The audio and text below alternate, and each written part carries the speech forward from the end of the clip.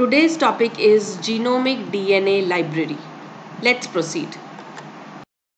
Genome. All of the DNA of an organism is called its genome. The size of genome varies from organism to organism. The genome is actually the entire set of DNA instructions found in a cell. In humans, the genome consists of 23 pairs of chromosomes located in the nucleus as well as a small chromosome in the cell's mitochondria. A genome actually contains all the information needed for an individual to develop and function. What is genomic library now? A genomic library is a complete collection of cloned DNA fragments that constitute the entire genome of an organism. Steps to construct a genomic DNA library.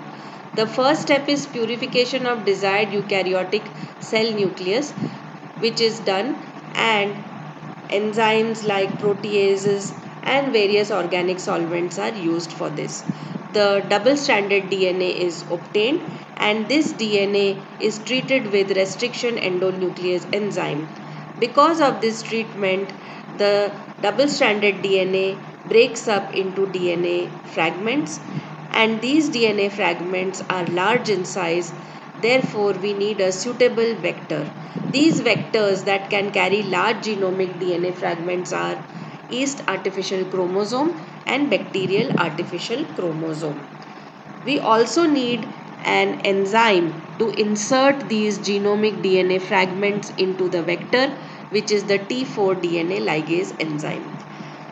With the help of this enzyme, recombinant vector is formed and the recombinant vectors are now inserted and are grown in bacterial host cell. The suitable bacteria is E. coli.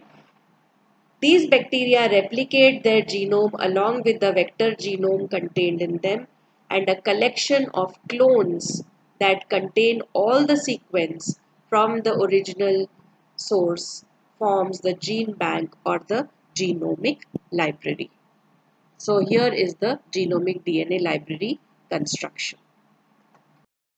Let us take a look at the applications of genomic library now. It's important to understand why do we have to construct a genomic library.